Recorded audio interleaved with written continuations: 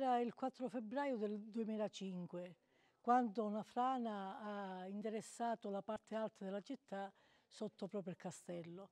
Ricordo bene quel giorno perché anche in quel momento io ero sindaco di questa bellissima città.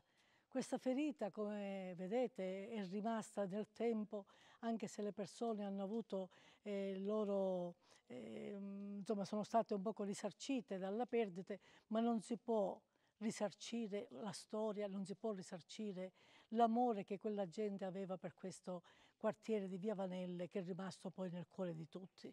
Certo, poi grazie all'Accademia delle Belle Arti di Firenze abbiamo voluto, come dire, far rimarginare questa ferita in qualche modo e loro lo stanno facendo egregiamente mettendo tanto amore e tanto impegno, oltre che tanta professionalità e arte, nel riprodurre scene di vita quotidiana e noi siamo grati loro per questo. Il nostro compito sarà anche quello di eh, provvedere a una rigenerazione urbana, soprattutto di questa zona, che deve diventare, come ho detto anche in altra occasione, la Marzamemi della montagna. Ci sono tutte le caratteristiche, la gente qui è molto accogliente, molto affettuosa, quella poca gente che è rimasta.